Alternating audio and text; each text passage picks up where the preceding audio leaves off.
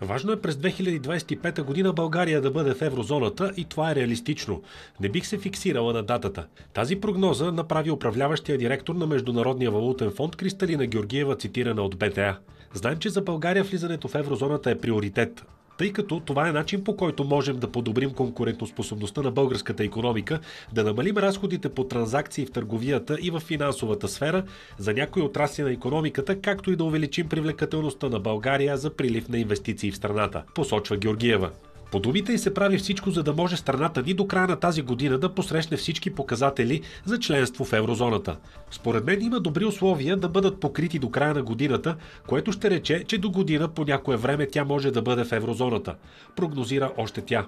Георгиева обясни, че препоръките към българското правителство са да бъде особено внимателно с инструментите, които са в неговите ръце и оказват влияние на движението на цените не само за влизане в еврозоната.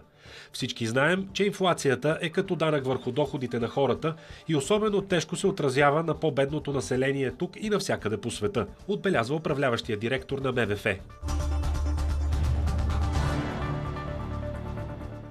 Национален фонд за декарбонизация ще замени фонда за енергийна ефективност и възобновяеми източници и ще бъде основният финансов инструмент, чрез който ще бъде обновен сградният фонд у нас – това предложение се съдържа в проекта за промени в Закона за енергийната ефективност, изготвен от Министерство на енергетиката. Целта на новия фонд ще бъде да привлече и частен капитал към обновяването на сградния фонд, както и насърчаване на основното търсене на услугата. Недостигът на средства в това направление обаче е съществен и се разглеждат възможностите институцията да предлага както традиционни, така и иновативни финансови инструменти. Като възможни източници на финансиране са разглеждани фондът за модернизация, приходите от търговията с квоти за въглеродни емисии и средства от схемите за задълженията за енергийна ефективност. В дългосрочната стратегия за подпомагане на обновяването на националния сграден фонд до 2050 година е отбелязано, че най-големите инвестиционни дефицити са при жилищния сектор между 3,3 милиарда и 4,5 милиарда евро годишно до 2030 година. При търговския и промишления сектор недостигът е между 0,3 милиарда и 0,5 милиарда евро. Публичният сектор ще бъде силно субсидиран през следващите години и дефицитът е минимален от 0,15 милиарда до 0,2 милиарда евро. В мотивите към предложението за промени се отбелязва, че през следващите години в България трябва да бъде обновен 60% от жилищния сграден фонд и 17% от нежилищния. Това ще доведе до спестяване на 7,3 тераватт часа електроенергия годишно и повече от 3,2 милиона тона въглеродни емисии. Считано от 1 април 2024 година Националният осигурителен институт ще преизчисли служебно пенсиите на около 350 хиляди пенсионери.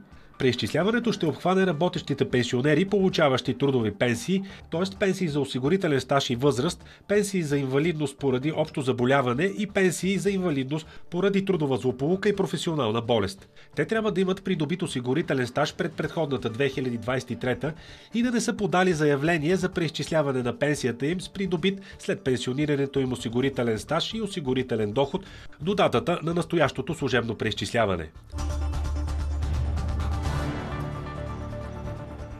Организацията по прехрана и земеделие към ООН публикува редовния си доклад за състоянието на глобалния зърнен баланс – Новата прогноза на Международната организация за световното производство на зърнени култури през 2023-2024 година е леко коригирана нагоре до 2840 милиона тона, което е ръст с 1,1 на 100 или 30,4 милиона тона в сравнение с миналата година. Това увеличение се дължи на значителната позитивна корекция в прогнозата за глобалния добив от царевица, предвид по-високите очаквания за производство на основната фуражна култура в САЩ, Бразилия и континенталната част на Китай. Китай. В глобалния зърнен баланс по-оптимистичната перспектива при царевицата изцяло компенсира незначителното намаление в добива от пшеница през текущия сезон. Според предварителната прогноза, производството на пшеница в света през 2024 ще нарасне с 10 милиона тона спрямо очаквания резултат за текущия сезон до 797,3 милиона тона, което е под нивото на историческия връх, регистриран през 2022 година.